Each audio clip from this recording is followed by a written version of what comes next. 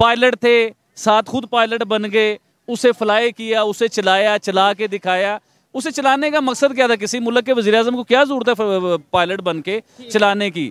उसे चला के दिखाने का मकसद था कि टैलेंट है पाकिस्तानियों में। ऐसा टैलेंट है ऐसा टैलेंट है कि आप हैरान हो जाएँगे। सर कौन सा टैलेंट है वो भी सुनिए। दो नंबरी का टैलेंट फेक टैलेंट सुने सर सर मैं बताता हूँ मेरी सुनिए आज मैं बताना चाह रहा हूँ। आपको बात बताता हूँ हमेशा उन्हें मोदी जी कहते हैं लेकिन मेरा दिल करता है मोदी जी से थोड़ा सा ऊपर जाना चाहिए।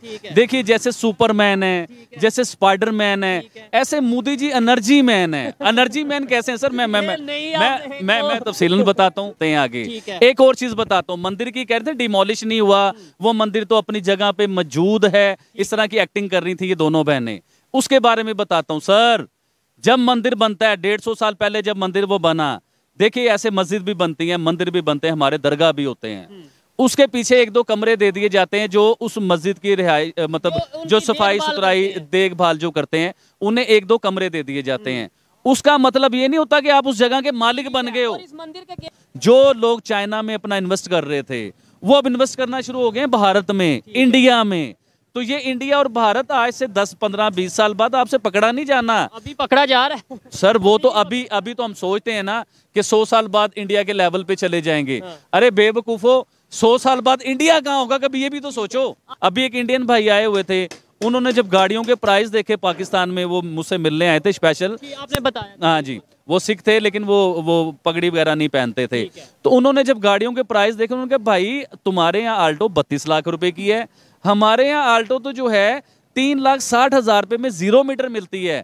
मेरे पास एक आल्टो है मेरी गाड़ी देखे कहते भाई हमारे हमारे यहाँ हाँ। आज एक नई प्रोडक्शन करता हूँ। ये फाइटर जेट जो बना है मोदी जी ने जिसमें सफ़र किया है ये एक्सपोर्ट करेंगे पूरी दुनिया में इसे आगे सेल करेंगे जिससे इंडिया की इकोनॉमी में फ़ायदा होगा। आबिद भाई आपने वर्ल्ड कप के हवाले से भी प्रडिक्शन की थी लेकिन वो फाइनल में जाके पूरी नहीं हुई। अभी तक ये किसी भी कंट्री ने ये नहीं कहा कि हम ये जेट खरीदेंगे या कोई ऑफिशियल डील नहीं हुई। कुछ लोग इंटरेस्टेड यानी कुछ कंट्रीज़ जो हैं वो इंटरेस्टेड नज़र आ रहे हैं तो ये ना हो कि फिर जो है वो जिस मुल्क के वज़ीर आज़म खुद उस जड में बैठ के सफ़र कर रहे हैं खुद चला रहे हैं हाँ। दिखा रहे हैं पूरी दुनिया में उसकी एडवर्टाइजिंग हो चुकी हुई है और है, और दुनिया एक बहुत बड़ा ब्रांड है, मतलब बड़ी हाँ। एक फ़ेमस पर्सनैलिटी जी की मैं आपको बात बताता हूँ हमेशा उन्हें मोदी जी कहते हैं लेकिन मेरा दिल करता है मोदी जी से थोड़ा सा ऊपर जाना चाहिए।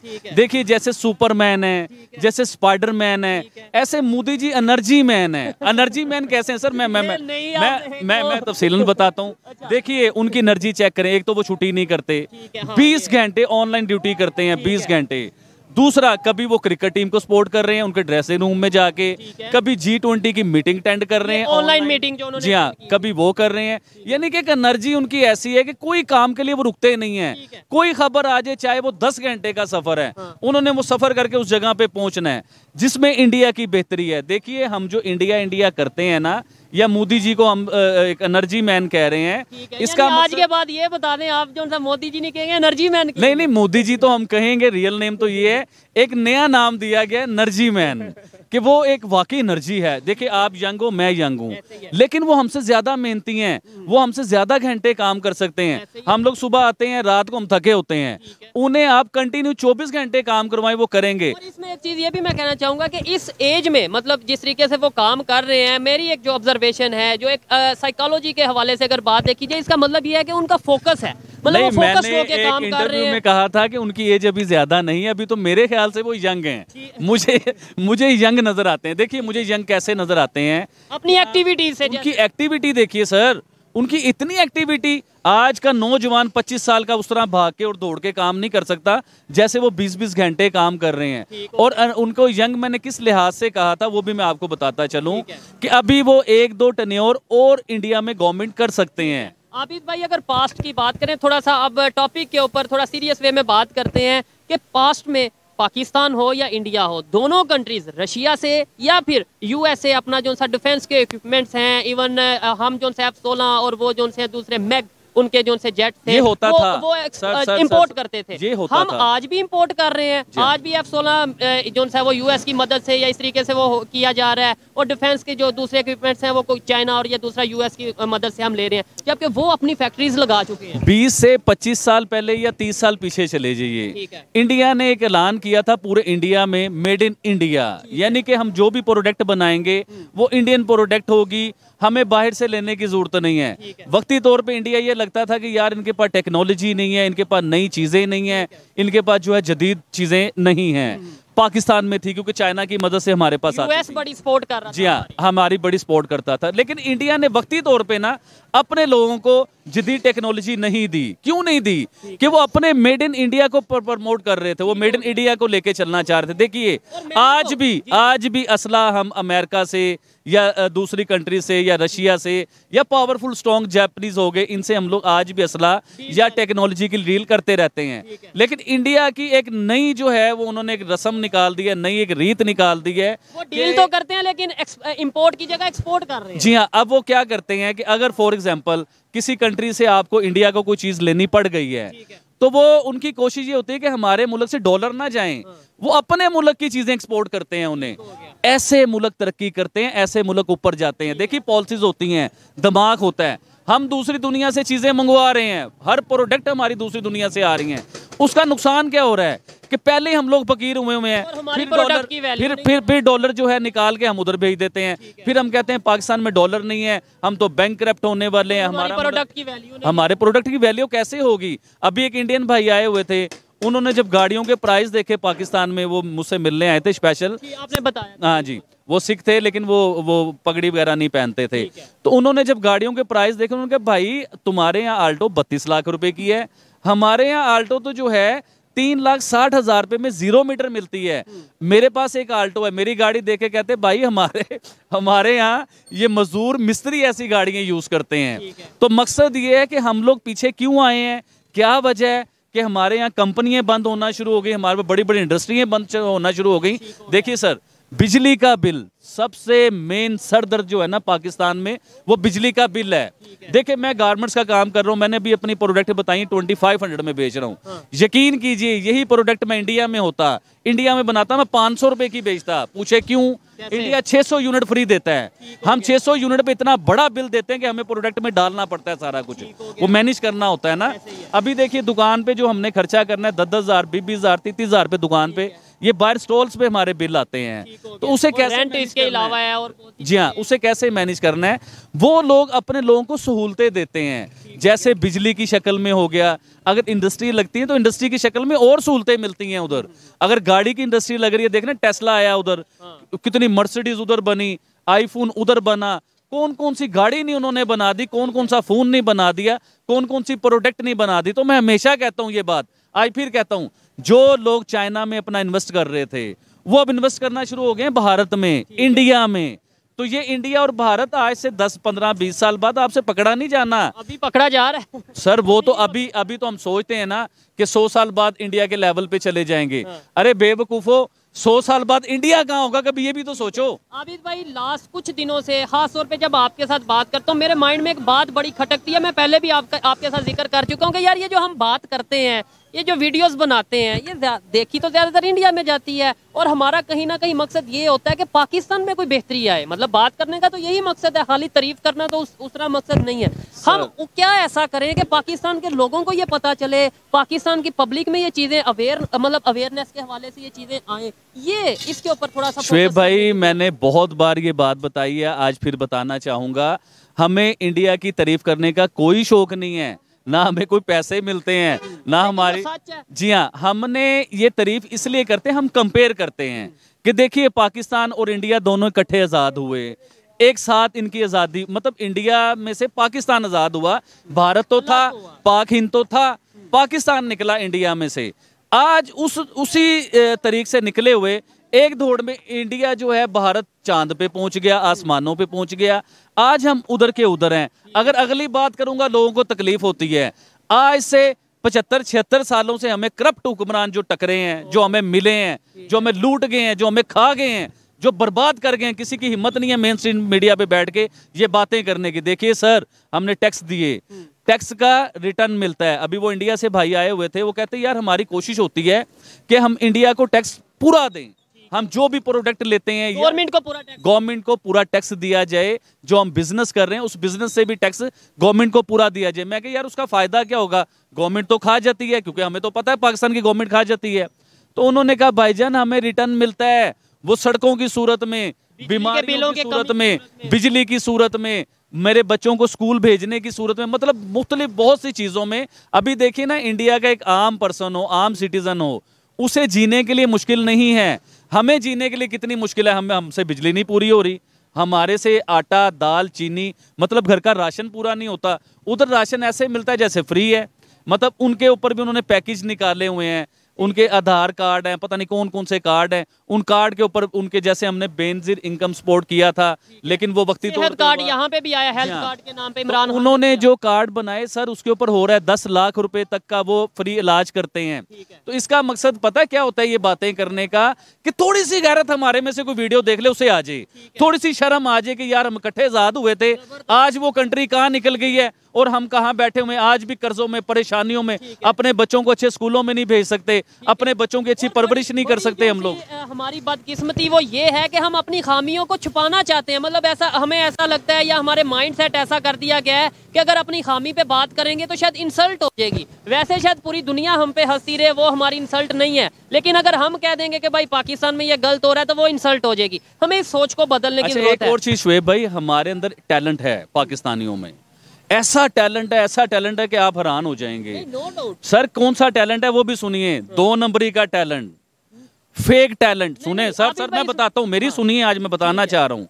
कोई इंसान तरक्की कर रहा हो कोई जब तक आप अपने अंदर एप्रिशिएट करना नहीं ना सीखेंगे जैसे मैं इंडिया को एप्रिशिएट कर रहा हूँ हमारा हमसाया है। हमारा टीवी कहता है कि वो दुश्मन है। हाँ। हम कहते हैं कि वो दुश्मन नहीं है यार वो तो कमाल कर रहे हैं वो लोग। ही है। इसी तरह ही हमारे पाकिस्तान में कुछ लोग हैं जो तरक्की करते हुए को बर्दाश्त नहीं कर सकते।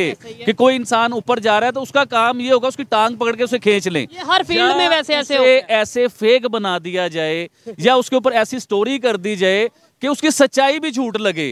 तो ये हमारे पाकिस्तान में हो रहा है। मैं ये समझता हूँ कि जो देखने वाले होते हैं ना मैं खास तौर पे अगर यूट्यूब की बात करूँ जो लोग देखने वाले हैं आज वो दौर नहीं रहा। एक झूठ बोल सकते हो दो बोल सकते हो तीन बोल सकते हो। लेकिन लॉन्ग टर्म आप अपने झूठ को लेके नहीं चल सकते ये मेरा पूरा यकीन है मुझे पूरी सच्चाई- और जो सच है वो सामने आ जाता है और झूठे भी बहुत जल्द एक्सपोज हो जाते हैं जी, जी, और जो लोग कुछ हो भी रहे हैं बुरी तरह एक्सपोज अच्छा जो लोग एक्सपोज हो रहे हैं ना आपकी तो ऑडियोस भी चल रही हैं आप तो माफिया मांग रहे हैं लोगों से। इधर आप कहते हैं कि जी मैं सच के साथ हूँ उधर आप कह रहे हैं लोगों से माफ़ी मैं ऑन रिकॉर्ड ऑन मीडिया यकीन करें मुझे हँसी आ रही मुझे इनसे बात करने को भी दिल नहीं कर रहा है। चले इन्होंने जो फेक मेरी ऑडियो चलाई सुनिए सर। हाँ। उसकी तारीख दिखा दी। इन्होंने कहा ना हम कराची गए और हमें जो है हमें कॉल्स आ रही हैं हमने इनके खिलाफ कोई किया तो इन कॉल्स आ इन्हें कहें कि उस ऑडियो की तारीख दिखा दें। आबिद भाई मीडिया पे नज़र नहीं आएगा। अगर ये उस ऑडियो की तारीख ना दिखा सकी सच ना सामने ला सकी तो फिर इन्हें शर्म आनी चाहिए इन्हें माफ़ी मांगनी चाहिए। ये कभी माफ़ी नहीं मांगती दोनों बहनें झूठे काम कर रही हैं। आप देखिए मैं बताता हूँ वो डेढ़ दो महीने पहले की कॉल है। जब आपकी पहली वीडियो रिलीज़ हुई थी। और उसके ऊपर तो हमने डिस्कस भी किया था। आबिद भाई ओपनली बोल चुके हैं। वो वीडियो का क्लिप हम लगाएँगे और इसके ऊपर डिटेल से वीडियो बनाएँगे। आबिद भाई ओपनली बोल चुके हैं कि भाई मैं तो चाह रहा हूँ कि सुहेब और नैला शैला जो उनसे आपस में कंप्रोमाइज कर रहे हैं कहा था- लेकिन डेढ़ माह पहले और वो उन्होंने बोला था मुझे भी बोला था कि यार इस तरह ना करो पाकिस्तान का इमेज खराब हो रहा है ये चीज़ें हैं। लेकिन मैंने बोला कि भाई जो मोबाइल में है मैं शायद अभी भी निकाल वो हम डिटेल में ये डेढ़ दो महीने पहले इन्होंने मुझे कॉल की थी मैंने नहीं की। हाँ। इन्होंने कॉल करके मुझे कहा था कि देखें आबिद भाई शुएब तो आपका दोस्त है उसे आप समझाएँ वो तो हमारे साथ ऐसे कर रहा है दुनिया को सच सुनाई जा रहा है एक्सपोज कर रहा है दुनिया को सच सुना रहा है।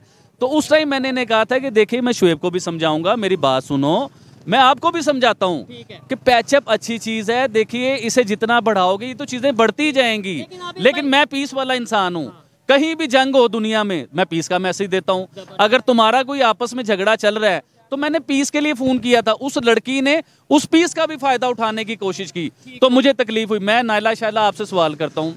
मैंने आपका क्या बिगाड़ा है? ठीक है। शुएब चौधरी के साथ आपका मामला है इसके साथ करो ना जो तो करना भाई है। मैंने भी क्या बिगाड़ा? मैंने तो सच ही सामने दिखाया है और मैंने बड़ा चैलेंज ये किया मैं इसके ऊपर फिर से ये बात कर रहा हूँ। वैसे तो मैं ये समझता हूँ कि मेरी ऑडियंस शायद इरिटेट होती है अब उनका नाम सुन के भी। मतलब वो ये कहते हैं कि यार छोड़ दो वो जो कर रहे हैं उन्हें करने दो। लेकिन मैं ये ये ज़रूर कहना चाहूँगा कि भाई नैला शैला मैंने आपको ये चैलेंज किया कि अगर मैं झूठा हूँ मैं आपके पास सिंध आऊँगा। लेकिन बात सिंध में होगी ये नहीं कि आप यहाँ आए लाहौर आए वहाँ सिंध में आके बात होगी आप वहाँ मौजूद हैं। मैं वहाँ पे आता हूँ अगर मैं झूठा हुआ मैं अपना चैनल डिलीट करूँगा। अगर आप झूठी हुई आप अपना चैनल डिलीट करना। क्योंकि आप नहीं करेंगी। आप मेरे पे एक वीडियो बनाए ना बोले मुझे बुलाएँ सिंध में। इन्होंने मेरा नाम जो है ना बड़े बुरे तरीके से लिया। ऐसे ही है। आज मेरी मार्केट के लोग जो है ना हँसते हैं मेरे ऊपर। ये आपने इन्होंने मुझे सुने मैं अपनी ऑडियंस को बताना चाहूँगा इसने मुझे कहा भगोड़ा आबिद।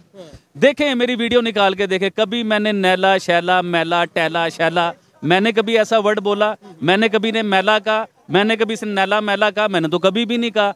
तो आप सोचिए अच्छा उस उस रिकॉर्डिंग में भी ये मुझे आबिद भाई कह रही हैं और वैसे हरासमेंट के केस करती हैं मेरे ऊपर। सर पे प्यार लेती किस किस्म की फेक लड़की हो यार आप? मुझे दुख हुआ है आपके ऊपर ना डिटेल से वीडियो बनाएँगे अगर ऑडियंस ने बोला तो। मैं ये समझता हूँ मैंने डिसाइड किया कि भाई वो ऑलरेडी एक्सपोज हो चुकी हैं। अब वो चाह रही हैं कि मैं यानी कि हम उनका नाम लें उन्हें कुछ व्यूज़ आए या जो भी मामला था हम भाई मेरी बड़ी कोशिश है प्लीज़ मैं आपको बता रहा हूँ कि नेक्स्ट टाइम ना मैं इनका नाम लेना भी पसंद नहीं करता। एक वीडियो हम डिटेल में बनाएँगे कोशिश ये करेंगे वो भी अगर आपको बेहतर लगा उसके बाद हम वीडियो इनके ऊपर नहीं बनाएँगे। और इनका चैनल जो मैंने बोला था डिलीट करवाऊँगा मैंने ये कहा था कि आपकी मदद से मतलब ऑडियंस की मदद से और डिलीट करवाने का मतलब ये होता है कि भाई चैनल बंद होना। चैनल इनके ऑलमोस्ट बंद हो चुके हैं। तीन चैनल थे, तीनों चैनल पे कितने चैनल इस टाइम चल रहे हैं, कितनों पे वीडियोस अपलोड हो रही हैं आप देख सकते हैं। और मैं ये काम करता रहूँगा। मुझे उनसे पर्सनली आज भी कोई इशू नहीं है। मैं उनकी रिस्पेक्ट करता हूँ एज ए ह्यूमन बीइंग और उनकी रिस्पेक्ट करता रहूँगा। लेकिन जहाँ पे कोई भी गलत करेगा, मैं उसे एक्सपोज ज़रूर करूँगा खास तौर पे इस फ़ील्ड में, क्योंकि मैं इसको एक इबादत के तौर पे लेके चल रहा हूँ।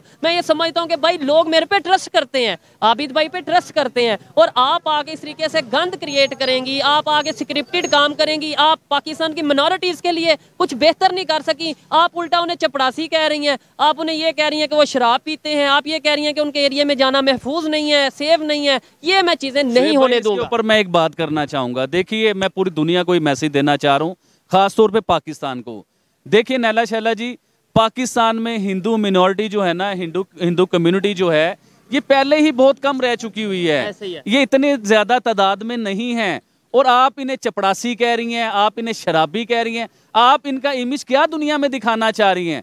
अगर ये चपड़ासी हैं किसी से मांगते तो नहीं है चोरी तो नहीं करते सवाल तो आपको ये करते हैं ना। ये सवाल उठाना चाहिए था कि ये क्यों पियन है ये क्यों चपड़ासी हैं? इन्हें तो अच्छी पोस्ट पे होना चाहिए था। आपने ये सवाल उठाना था ये बात करनी थी लेकिन आपने बोला ये तो है ही चपड़ासी इनसे बात क्या करनी है? मैं खैर इस चीज़ को छोड़ें। आबिद भाई मुझे ये बताएँ इसके ऊपर डिटेल से वीडियो करेंगे। मुझे ये बताएँ इस टाइम जो पाकिस्तान की प्रोडक्ट्स हैं जो टॉपिक की तरफ़ आते हैं जो पाकिस्तान की प्रोडक्ट्स हैं और इंडिया की प्रोडक्ट्स हैं इंटरनेशनल लेवल पे डिमांड किसकी ज़्यादा सर ऑब्वियसली इंडिया की है। क्योंकि पाकिस्तानी प्रोडक्ट यार मैं आपको एग्ज़ाम्पल देता हूँ। एक चीज़ मिलती है इंडियन सौ रुपए में। पाकिस्तानी वो चीज़ मिलेगी दूसरी कंट्री में चार सौ रुपए की। आप किसे प्रेफरेंस दोगे? आप सौ रुपए को प्रेफरेंस दोगे? और जो प्रोडक्ट क्वालिटी भी अच्छी और क्वालिटी उनकी आउटस्टैंडिंग क्वालिटी देखिए वो मेहनती हैं वो ईमानदार हैं। है। वो अपने काम में पूरी लगन और ईमानदारी से काम करते हैं। इसका सबूत भी मैंने दिया था दुबई से लेके जो मैंने आपको बातें बताई थी। तो वो पूरी दुनिया में देखे ना बड़ी पोस्ट पे कौन है? इंडियंस बैठे हुए सी ओ सीईओ देखिए इंडियंस होंगे मैनेजर इंडियन होंगे। दुनिया में कई मुल्कों में वज़ीर आज़म इंडियंस होंगे। वो इतनी इतनी बड़ी पोस्ट पे कैसे पहुँच जाता है इंसान? ईमानदारी की वजह से। पाकिस्तान से जो लोग देख रहे हैं और खास तौर पे दुबई से जो लोग देख रहे हैं ईमानदारी से कमेंट करिएगा या बताइएगा कि वहाँ पे जो पाकिस्तानी हैं वो किस तरीके से जॉब कर रहे हैं और जो इंडियन हैं वो किस तरीके से जॉब कर रहे हैं। वर्थ किसकी ज़्यादा है? डिमांड किसकी ज़्यादा है? ये मैं दुबई इसलिए बोला है कि इस्लामिक कंट्री इस्लामिक स्टेट में ये चीज़ें किस तरीके से चल रही हैं। मैं पोस्ट पे होता हूँ एग्ज़ाम्पल दे रहा हूँ। मैं पोस्ट पे हूँ एक बड़ी पोस्ट पे हूँ। आप एक छोटी पोस्ट पे और मेरे नीचे काम कर रहे हो। अब हमारे दोनों मुल्कों में दुश्मनी है। हम एक दूसरे को दुश्मन समझते हैं बचपन से। तो मैं बड़ी पोस्ट में मेरा तो कोशिश ये होगी कि इसको पागल कर दे।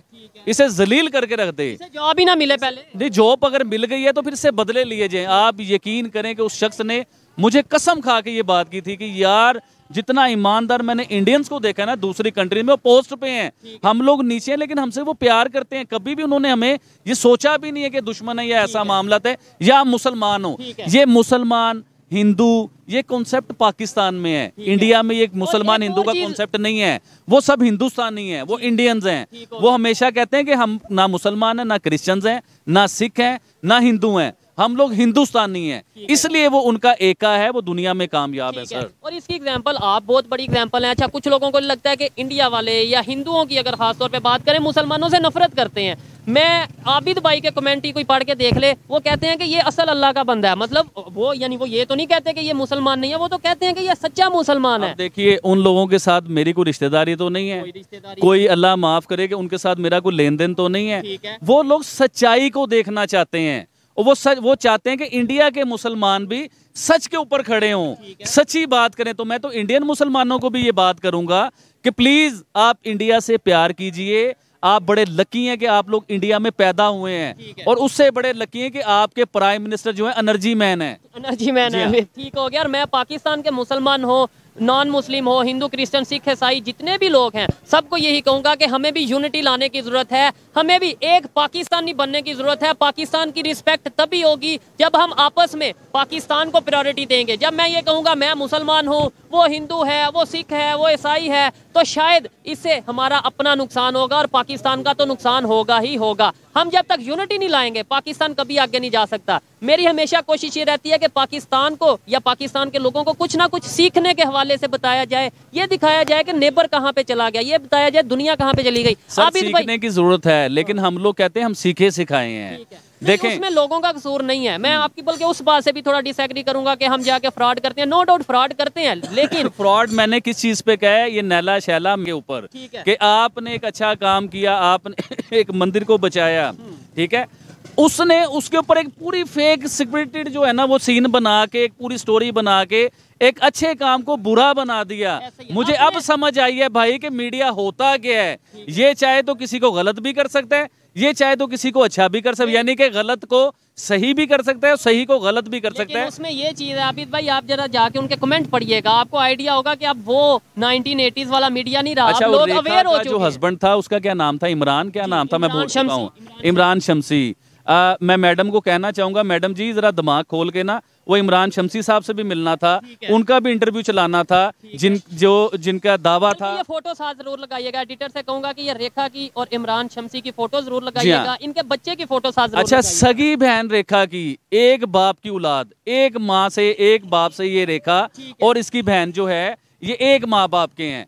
सगी बहन ने जब अपनी बहन की सच्चाई बताई पूरी दुनिया को हमारे चैनल पे आके जी आपके चैनल पे और इन्होंने उसकी बहन को भी झूठा और फ्रॉडिया करार दे दिया। मैं कहता हूँ, देखें, अगर मैं थोड़ा सा भी यहाँ पे इंतज़ार फैलाना चाहूँ, थोड़ा सा भी मैं अगर लोगों के सेंटिमेंट से खेलना चाहूँ तो मेरे लिए बहुत आसान है इस टाइम क्योंकि जैसे इन्होंने हिंदुओं के जो बहुत सीनियर होते हैं जिन्हें महाराज वो लोग कहते हैं जो उस उनके बारे में इन्होंने बोला है और वो कोई आम इंसान नहीं है। वो पूरे आल पाकिस्तान हिंदू कम्युनिटी के को लेकर चल रहे हैं। उनका नाम रामनाथ महाराज है। उनके ऊपर उन- लगा दिए हैं। मैं अगर थोड़ा भी चाहूँ तो आप लोगों के लिए इतनी मुश्किल क्रिएट कर सकता हूँ। लोगों के सेंटीमेंट को थोड़ा सा भी अगर लेकिन मैं ये चाहता हूँ कि एट दी एंड इससे नुकसान पाकिस्तान अच्छा, का होगा। इमेज मेरा और आपका भी खराब होगा। ये अपने फेक इमेज को बेहतर करने के लिए पहले ये सिंध गए फिर इन्होंने अपने इतने इतने बड़े लोगों पे इल्ज़ाम लगाए। अपना इमेज तो आपने मैडम खराब कर लिया है। जज्बात से नहीं होश में रहते हैं और होश से चलते हैं आगे। है। एक और चीज़ बताता हूँ। मंदिर की कह रहे थे डिमोलिश नहीं हुआ। वो मंदिर तो अपनी जगह पे मौजूद है। इस तरह की एक्टिंग कर रही थी ये दोनों बहनें। उसके बारे में बताता हूँ सर जब मंदिर बनता है डेढ़ सौ साल पहले जब मंदिर वो बना देखिए ऐसे मस्जिद भी बनती हैं मंदिर भी बनते हैं हमारे दरगाह भी होते हैं। उसके पीछे एक दो कमरे दे दिए जाते हैं जो उस मस्जिद की रिहाई मतलब जो सफ़ाई सुथराई देखभाल जो करते हैं उन्हें एक दो कमरे दे दिए जाते हैं। उसका मतलब ये नहीं होता कि आप उस जगह के मालिक बन गए हो। इस मंदिर के केस में हुआ ये कि जो दो तीन कमरे दिए गए रिहाइश के लिए उसको मंदिर बना दिया गया और जो पूरा मंदिर था एक प्रॉपर प्रॉपर्टी थी मंदिर की जो जगह थी उसे जो है अपना पर्सनल प्रॉपर्टी शो करवा दिया गया। और ये कहा जा रहा है ये तो रेखा का मंदिर है कब मंदिर कभी किसी का नहीं होता। मैं कह रेखा का मंदिर कहाँ से हो गया? रेखा के जो फादर थे ना हाँ, उन्हें उधर रखा गया था। सर मैं बताता हूँ उन्हें रखा गया था कि मंदिर की आप देखभाल करेंगे। आ, वो चले गए दुनिया से पता नहीं वो अच्छे इंसान थे कैसे थे मुझे तो लगता है अच्छे इंसान थे वो। और दूसरे नंबर पे आबिद भाई मैं ये कह दूँ कि ये मस्जिद आबिद अली की है या ये मस्जिद सुहेब की है। कैसे हो सकती है? मस्जिद तो अल्लाह का घर है। मंदिर भगवान का घर है। ये मालिक कैसे बन सकते हैं मंदिर या मस्जिद के? कोई मालिक नहीं बन सकता मंदिर या मस्जिद का। लॉजिक ये दिया जा रहा है कि जी दूसरे मोहल्ले वाले लोग वहाँ पे आके पूजा नहीं कर सकते। ओ भाई अच्छा वो जगह ना से वो काम मैं बताता हूँ वो जगह है मेन रोड पे। वो करोड़ों रुपए की प्रॉपर्टी है। अब इनकी गेम है ये कागजों में दो नंबरी कर रहे हैं। ये मैं होने नहीं दूँगा। वो आप होने नहीं दो कागजों में दो नंबरी कर रहे हैं। अच्छा उनकी बहन ने बताया था जहाँ वॉशरूम थे ना उधर इन्होंने मंदिर बना दिया हुआ है। इन्होंने फिर एक गेम बनाई जो जो रेखा से जिन लोगों ने बाहर रेंट पे ठेले ठूले नहीं लिए होते उनसे गेम बनाई रेखा ने उन्हें किया ब्लैकमेल कि हम तुम्हारे ठेले उठा देंगे मीडिया आएगी तो आपने ये बात करनी है। उन लोगों ने वो बेचारों ने डर पे अपने बच्चों के लिए वो बयान दिए। अब मैं बताता हूँ बारह साल पहले इन्होंने कहा कि मंदिर से नया बनाया गया। अरे भाई तुमने नया बनाना था तो उधर बनाते ना जहाँ मंदिर था। आपने एक और मंदिर इतना सा होता है और रिहाइश की जगह इतनी बड़ी होती है। और भाई मेरे रिहायश की जगह हमेशा छोटी होती है मंदिर बड़ा होता है। मस्जिद में भी ऐसे ही है कि हाँ। मस्जिद जाहरी बात है मस्जिद की जगह बड़ी होती है और जो रिहायश वहाँ पे होती है